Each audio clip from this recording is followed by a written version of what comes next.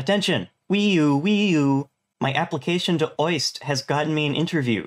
At the end of May, I'll talk to some professors in Okinawa on Zoom. So for this week's video, I'm gonna practice my pitch.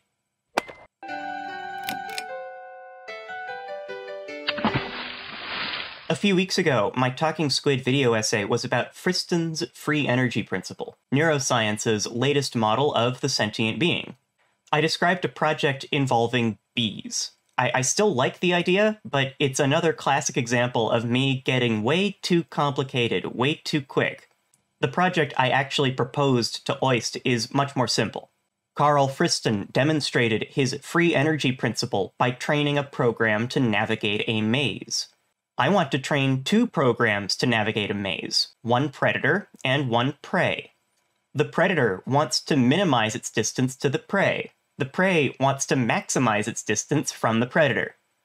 At OIST, I'd like to make this work continuously, but for now, let's leave it discrete, like a board game.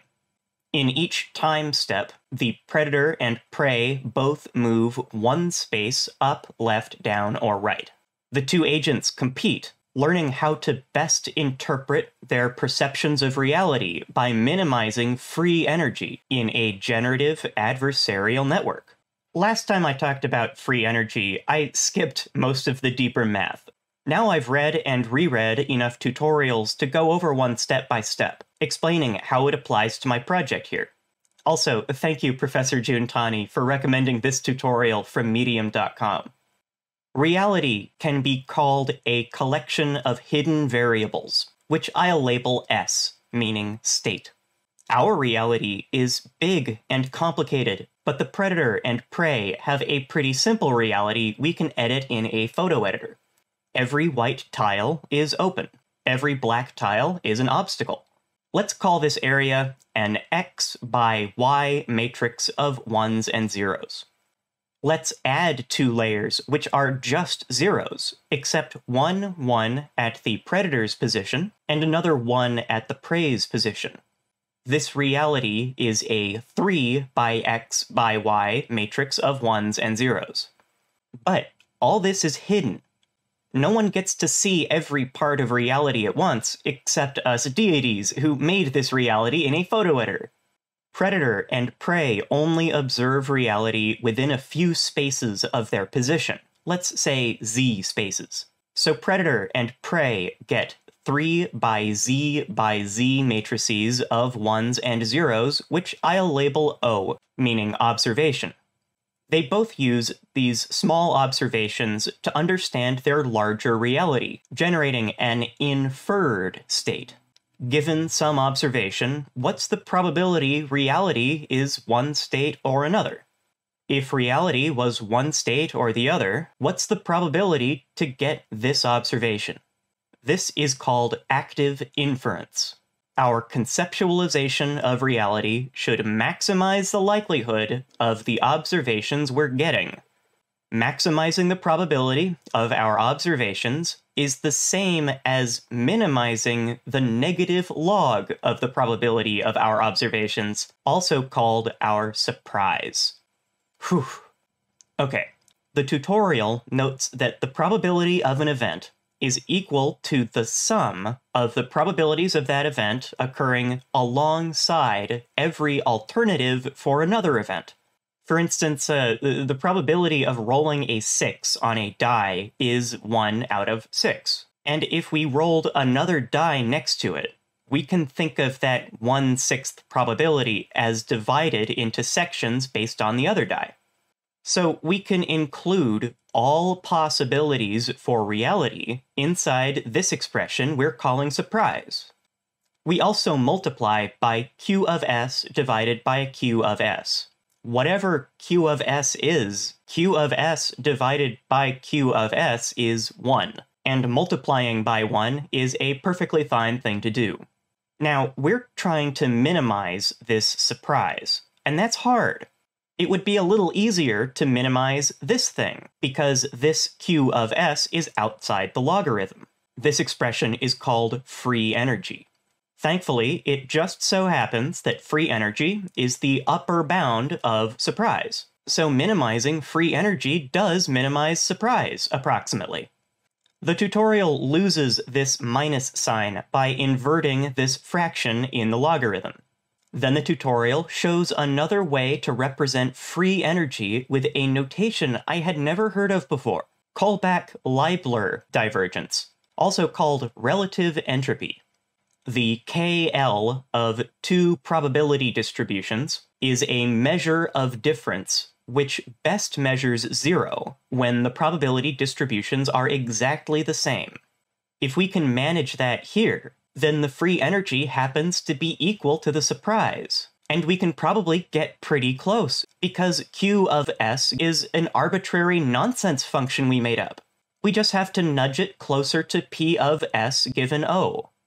To turn math into a metaphor, we're making our private notion of the universe into something similar to what our observations are suggesting. Professor Jun Tani might suggest our private notion of the universe should involve long short term memory networks. Okay, I'm going to quote directly from the tutorial just to make sure I'm reading it right. By minimizing free energy, the arbitrary distribution Q of S gets closer to the posterior P of S given O and if they match, KL term becomes zero, and free energy is exactly equal to surprise. So the more we minimize free energy by wiggling Q of S, the more it becomes closer to surprise, since it's an upper bound. And by minimizing free energy by wiggling parameters of P of S and S, we can minimize surprise even further.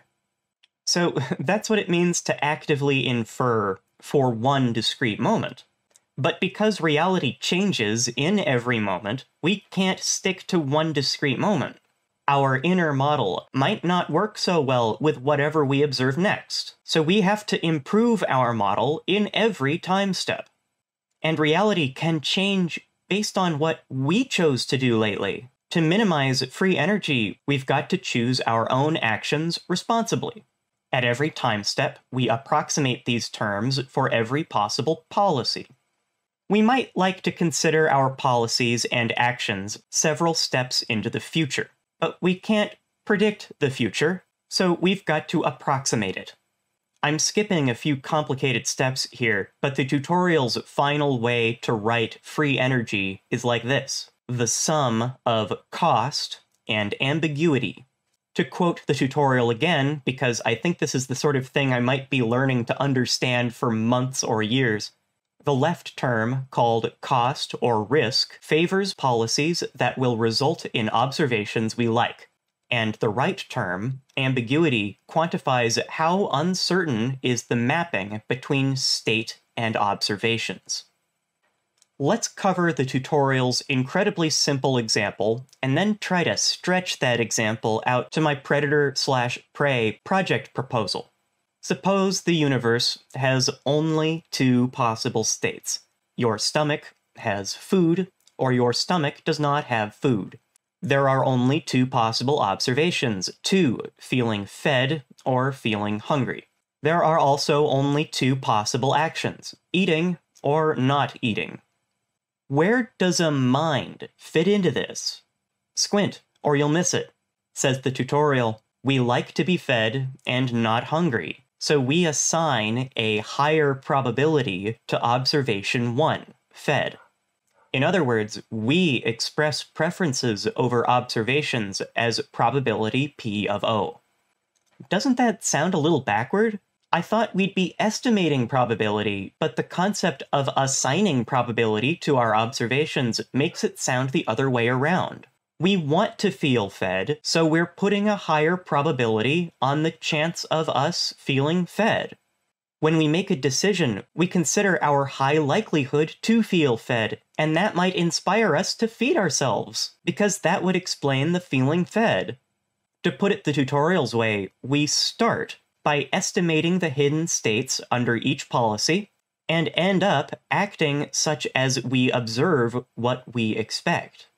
No wonder motivational speakers are all about optimism and vision. The numbers say you go where you aim.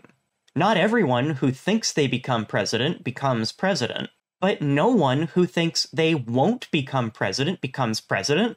They don't bother taking any of the steps. So if we want our computer to do something for us, we should tell it, this is going to be accomplished. I'm 100% sure. Do it. So let's stretch this out to the predator and prey.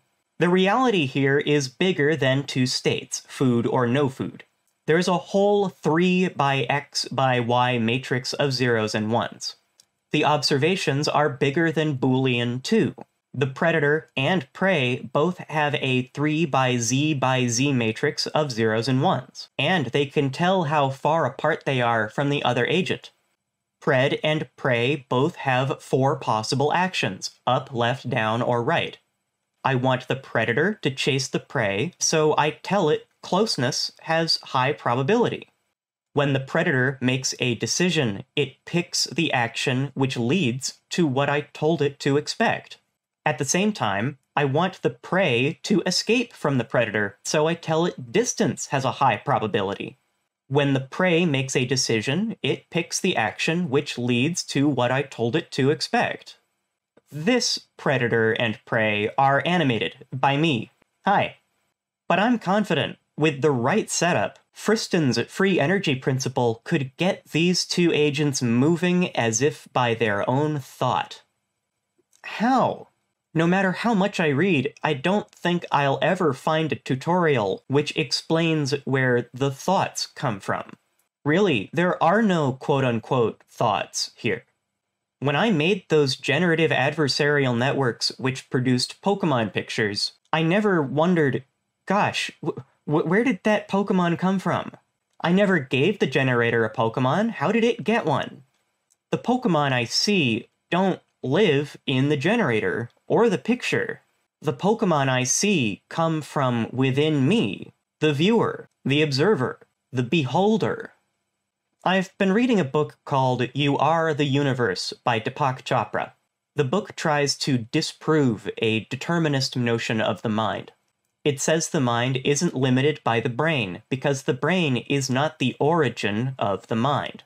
As the sort of math squid who makes this sort of video essay, I'll always be ranting about the complexity of machine learning algorithms deep as the human brain. But when I perceive the predator and prey seeming to make their own decisions, even though I know their thoughts I'm seeing are my own, I wonder where my thoughts are coming from.